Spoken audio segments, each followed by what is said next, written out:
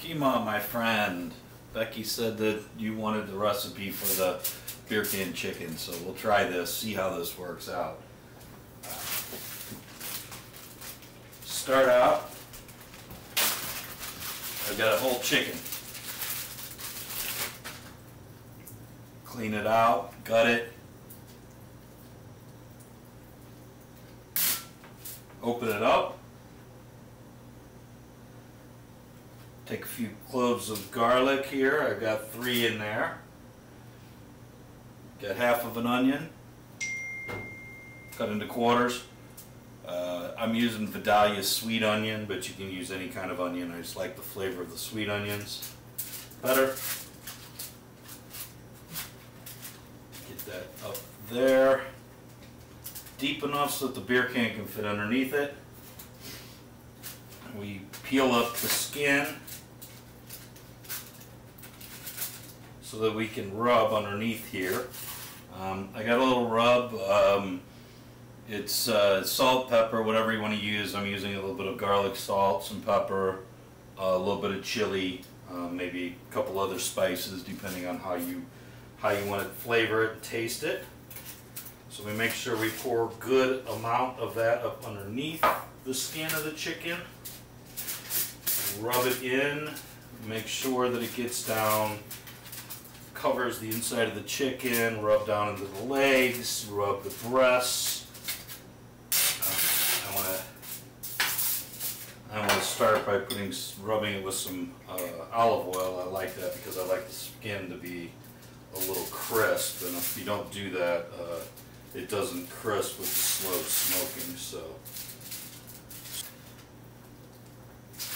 And then the important part, hang on one sec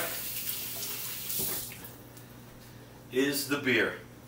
Now you can also take the beer and uh, a lot of times I'll use rosemary. I don't have any rosemary today, so um, we'll go without the rosemary. Um, the important part about the beer is this. You can't put a full beer in there. It will go all over the place and make a complete mess. So what you want to do is, is you want to take the beer and you want to drink about half of it.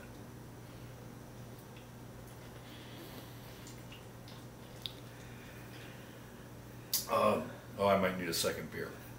Um, anyway, so you take this. I happen to have a, a device that's kind of built for this. So it has a holder for the beer, has a holder for the chicken. Uh, you don't need it. It's just nice to have. Um, if you don't have that, the key is that when you put it on the grill, you want the heat offset.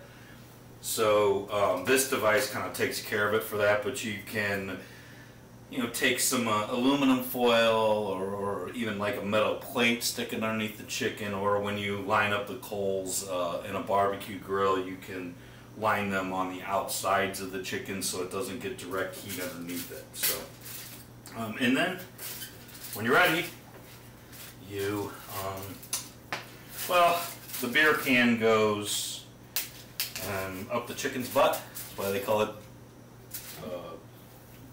they call it beer can chicken. I call it beer butt chicken. So anyway, that's kind of how you prep the uh, prep prep the chicken. Um, one other thing we're going to make on the grill today is some peaches. I don't know if uh, there are many peaches in India. I don't think I I had too many, but um, I'm going to go ahead and grill some peaches. So I will take these and I will slice them in half. Pull out the seed. And then taken, I will take brown sugar and just put a bunch of brown sugar on it. Um, you can also put some some lemon juice in there. I don't have any today, or I would do that. Uh, it gives it a little more of a of a flavor, but it's it's pretty good with just the brown sugar and the peaches. Um, and then we'll cook these along with the chicken on the grill. Um, that's the prep. Here in a minute, when I'm done with the rest of this, we'll go out to the grill once the fire's done and, uh, and cook our chicken.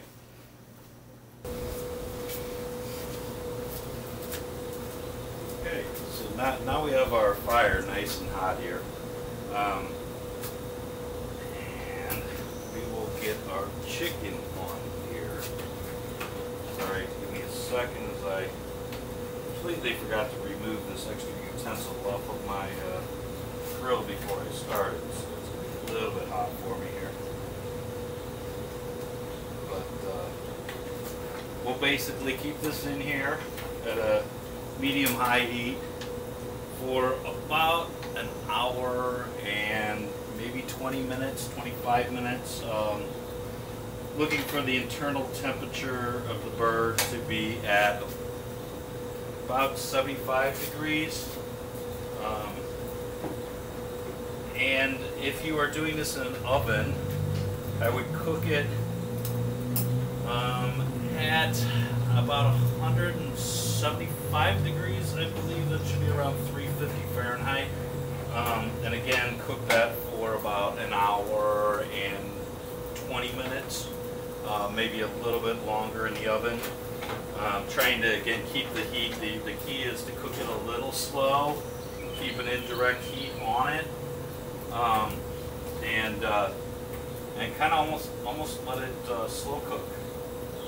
Let the beer keep the bird moist, um, and uh, and that's basically how you cook it. We'll come back in a in a little while, put the uh, peaches on, uh, got some veggies to go on here um, and check on our bird.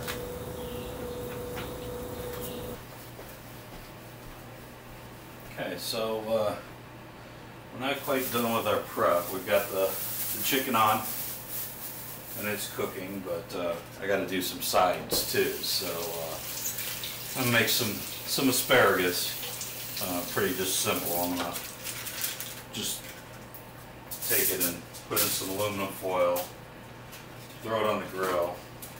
First, uh, the whole thing, I don't need that much, but I'll take just a little bit here. I like to trim off the ends of the asparagus. Just put it on some aluminum foil, uh, drizzle it with a little bit of oil, although I think I'm low on olive oil, so we'll just use a little vegetable oil here.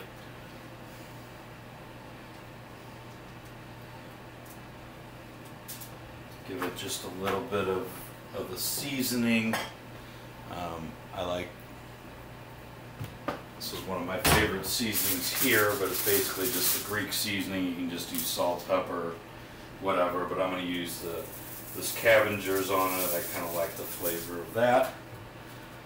Um, and then I'll just put these out on the grill here in a minute, wrapped in this aluminum foil, keep it open just to, just to heat them up, cook them, uh, make them a little soft.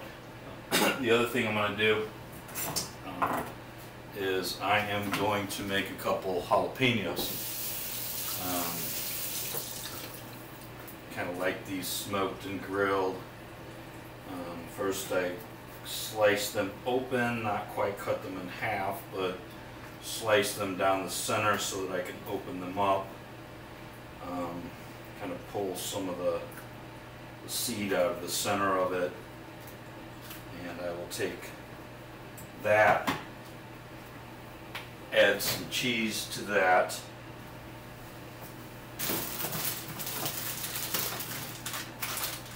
I've got some a little Mexican shredded cheese, but you can take whatever kind of cheese you want take that, add that into the pepper so it's nice and stuffed with all that cheese. Mm, and then take a piece of bacon.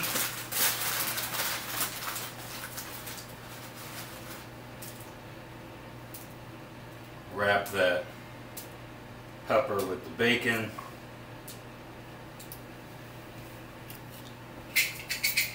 Toothpicks to seal it together and then that will go on the grill with about oh, I don't know 15 minutes left to go.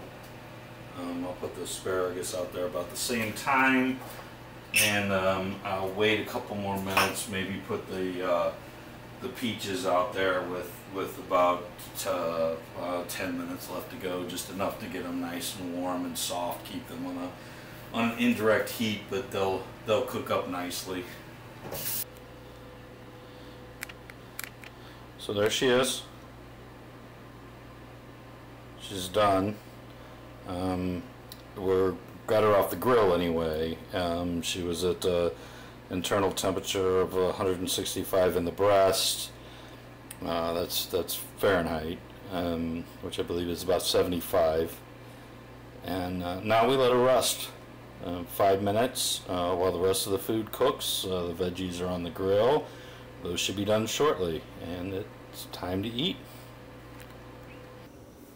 Okay, this should go last, really, but uh, since it's kind of dessert. But next off the grill were these lovely peaches. Um, again, just brown sugar and peaches. Um, I did add a little lime juice to some. Um, I found some of that in the fridge, but uh, for the most part, you can add fresh, fresh lime, fresh lemon uh, before you cook them. Okay, and here we have the rest of it. You see the asparagus. I uh, decided to throw a little bit of cheese on that, um, just because it looked a little too healthy without it. Um, these are the bacon wrapped jalapeno peppers stuffed with cheese. And um, over here I've got a couple, uh, um, they're, they're called sala salami dogs.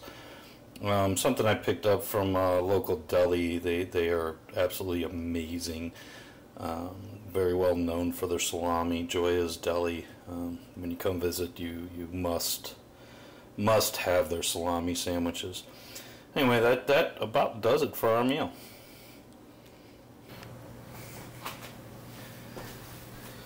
Okay, Kima. Uh, I hope you got everything. Uh, if not, I can certainly write down anything. And again, I did this all on a grill, but uh, you can certainly do all this in the in an oven as well. Uh, you know, probably around uh, three 350 degrees Fahrenheit, um, 175, uh, I believe.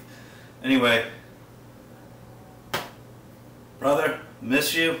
Um, hopefully we'll uh, see each other, whether they're in Pune or, or maybe you'll get over here for some of our culinary delights here, man.